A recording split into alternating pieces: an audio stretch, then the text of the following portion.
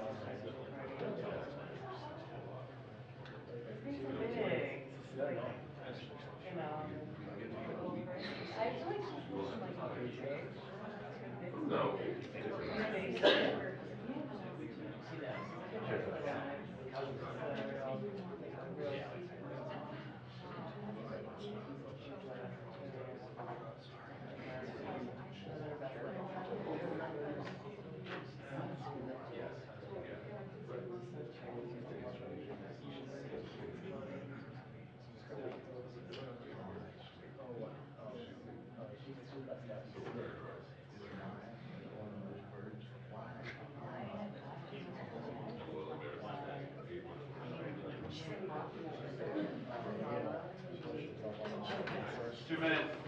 Thank you.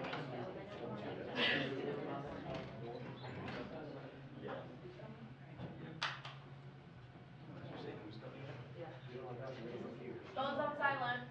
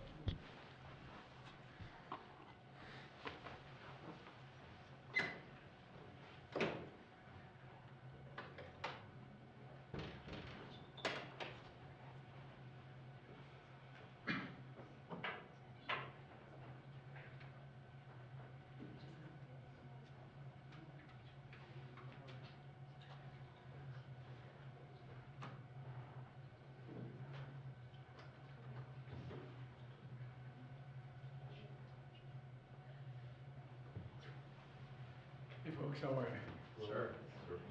Excuse me, I closed that door. Good afternoon. I, uh, I'm heading off to East Palestine in in a moment, but I wanted to say a few things this morning about uh, Alexei Navalny. You know, like millions of people around the world, I'm literally both not surprised and outraged by the news. Reported death of Alexei Navalny. He bravely stood up uh, to the corruption, the violence, and the, the all the all the bad things that the Putin government was doing. In response, Putin had him poisoned, he had him arrested, he had him prosecuted for fabricated crimes, he sentenced him to prison, he was held in isolation. Even all that didn't stop him from calling out Putin's lies. Even in prison, he was a powerful voice for the truth, which is kind of amazing when you think about it. And he could have lived safely in exile after the assassination attempt on him in 2020, which nearly killed him, I might add. And but he uh, he was traveling outside the country at the time. Instead, he returned to Russia. He returned to Russia, knowing he'd likely be imprisoned or even killed if he continued his work. But he did it anyway because he believed so deeply in his country, in Russia. Reports of his death, if they're true, and I have no reason to believe they're not, Russian authorities are going to tell their own story. But make no mistake, make no mistake, Putin is responsible for Navalny's death. Putin is responsible. What has happened to Navalny is yet more proof of Putin's brutality. No one should be fooled, not in Russia, not at home, not anywhere in the world. Putin does not only target his citizens of other countries, as we've seen in what's going on in Ukraine right now, he also inflicts terrible crimes on his own people. And as people across Russia and around the world are mourning Navalny today because he was so many things that Putin was not. He was brave, he was principled, he was dedicated to building a Russia where the rule of law existed and where it applied to everybody. Navalny believed in that Russia, that Russia. He knew it was a cause worth fighting for, and obviously even dying for. This tragedy reminds us of the stakes of this moment. We have to provide the funding so Ukraine can keep defending itself against Putin's vicious onslaughts and war crimes. You know, there was a bipartisan Senate vote that passed overwhelmingly in the United States Senate to fund Ukraine. Now, as I've said before, and I mean this in a literal sense, history is watching. History is watching the House of Representatives. The failure to support Ukraine at this critical moment will never be forgotten. It's going to go down in the pages of history. It really is. It's consequential. And the clock is ticking. And this has to happen. We have to help now. You know, we have to realize what we're dealing with with Putin. All of us should reject the dangerous statements made by the previous president that invited Russia to invade our NATO allies if they weren't paying up. He said if an ally did not pay their dues, he'd encourage Russia to, quote, do whatever the hell they want.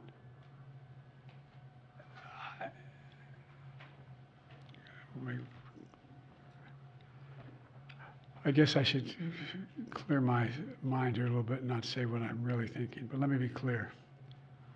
This is an outrageous thing for a president to say. I can't fathom. I can't fathom. From Truman on, they're rolling over in their graves hearing this. As long as I'm president, America stands by our sacred commitment to our NATO allies, as they have stood by their commitments to us repeatedly. Putin and the whole world should know if any adversary were to attack us, our NATO allies would back us. And if Putin were to attack a NATO ally, the United States will defend every inch of NATO territory. Now's the time for even greater unity among our NATO allies. To stand up to the threat that Putin's Russia poses. You know, I send my deepest condolences to Alexei's staff and supporters. We're going to continue his work despite this loss, despite all of Putin's desperate attempts to stamp out the opposition, and most of all to his family, especially to his wife, his daughter, and his son, who've already sacrificed so much for their family and a shared dream for a better future for Russia. So I just want to say God bless Alexei Navalny. His courage will not be forgotten and I'm sure it will not be the only courage we see coming out of Russia in the near term. Thank you. I'll be happy to take a couple questions. Sir, first, was this an assassination? The answer is that we don't know exactly what happened, but there is no doubt that the death of Navalny was the consequence of something that Putin and his, and his thugs did. And to be clear, you warned Vladimir Putin when you were in Geneva of devastating consequences if Navalny died in Russian custody.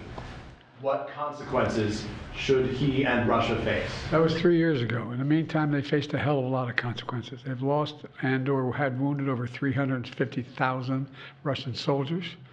They've made in a position where they've been subjected to great sanctions across the board, and we're contemplating what else could be done. But the, the, what we were talking about at the time, there were no actions being taken against Russia. And that, look, all that's transpired since then. Can you say How whether do you you're, think whether you're looking at increasing sanctions on Russia right now? We're looking at a whole number of options. That's all I'll say right now. Is there anything you can do to get ammunition to the Ukrainians without a supplemental from Congress? No, but it's about time they step up, don't you think? Instead of going on a two week vacation. Two weeks. They're walking away. Two weeks. What are they thinking? My God, this is bizarre. And it's just reinforcing all the concern and, and, and almost, I won't say panic, but real concern about the United States being a reliable ally. This is outrageous.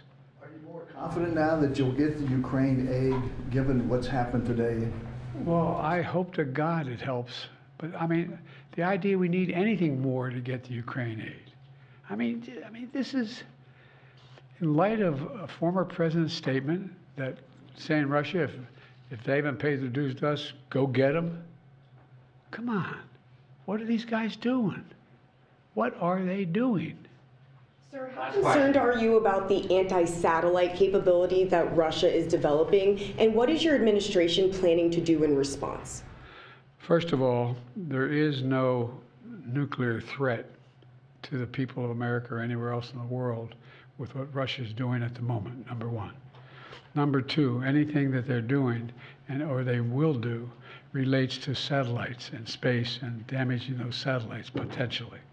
Number three, I, there is no evidence that they have made a decision to go forward with doing anything in space either.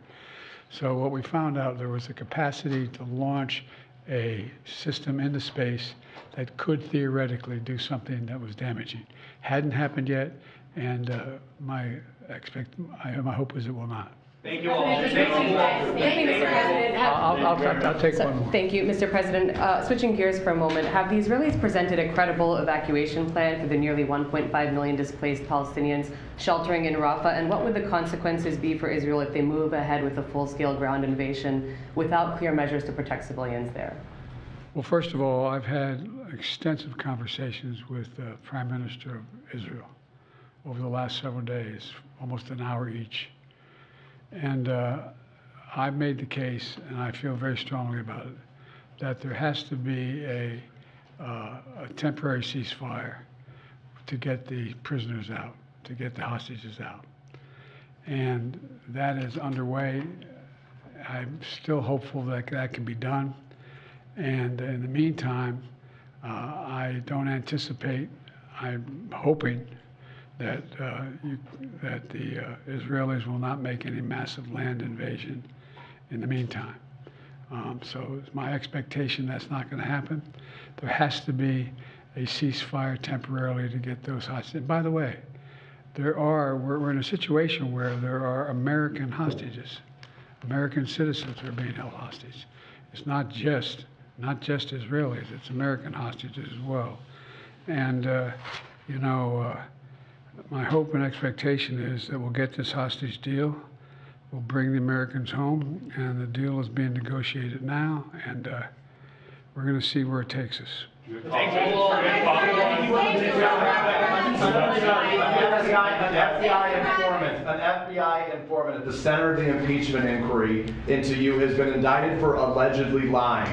Your reaction to that, and should the inquiry be dropped? He is lying, and it should be dropped, and it's just been a it's been an outrageous effort from the beginning. We did. No, I'm not running for party and wanting to join you not running See you in Ohio. Thanks, Mr. President. Thanks, Paul. All right, guys,